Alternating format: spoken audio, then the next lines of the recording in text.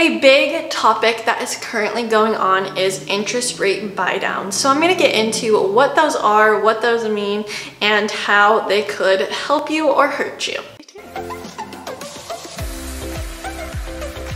Hi, my name is Kasie Gray, your homegirl broker associate here in Ukiah, California, and I love helping first-time sellers buy their dream home. So this is a perfect time to look into that move up sale. There is a lot of potential for a move up sale.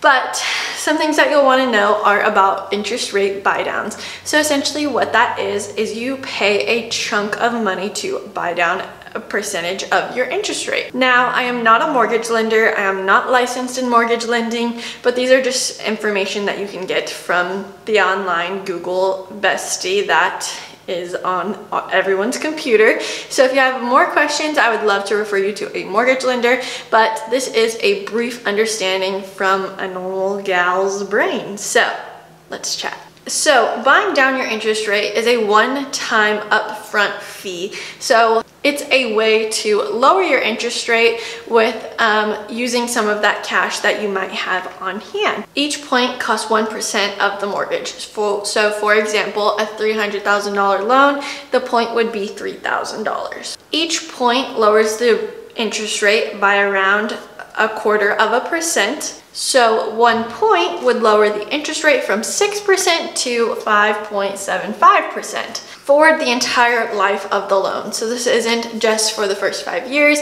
this is for the entirety of your loan, whether that's 30 years or 15 years. So if you've got some extra savings, you don't have a ton of work that needs to be done to the home when you get into it, and you have the ability to buy down the interest rate, it could be a smart investment. You can talk to your mortgage lender to run different scenarios for you at different interest rates with different payments to see what will work best for you. And if you have any other questions about getting pre-approved, about selling your home, about buying a dream home, it's never too late to give me a call.